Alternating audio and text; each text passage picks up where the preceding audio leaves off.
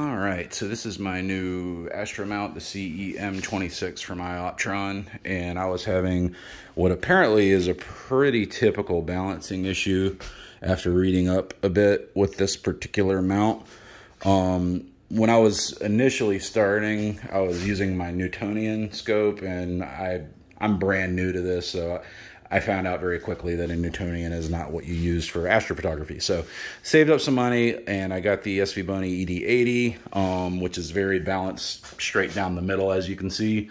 Uh, but I was getting frustrated last night because I was trying to get it balanced and in the uh, declination, it would not balance and the right ascension it would not balance. So I started looking it up and I found out um, you have to do what's called the third axis balancing on this particular amount and that is what you're seeing down here. So basically this is just a uh, camera clip piece that I got on Amazon for like 10 bucks. Luckily I actually had one on hand um, for a different project.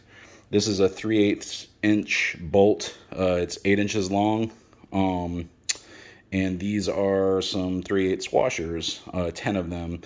I think they're one and a half inch diameter, three eighth uh, on the whole. So anyway, uh, by putting that on as a counterweight, and if you look, you'll see that it's actually kind of perpendicular uh, to the scope. Um, it balances it, so I can finally get it up here, and it's still right here, and it's still Oh, and of course, I just knocked it loose because I'm fucking around. So, but anyway, it properly balances it. Now I just need a lighter counterweight because this one is hitting, uh, I don't remember what you call this, dude, the azimuth uh, pin. Yeah, it's it's bumping into it, so I got to get a five pounder so it can ride a lot lower on the bar.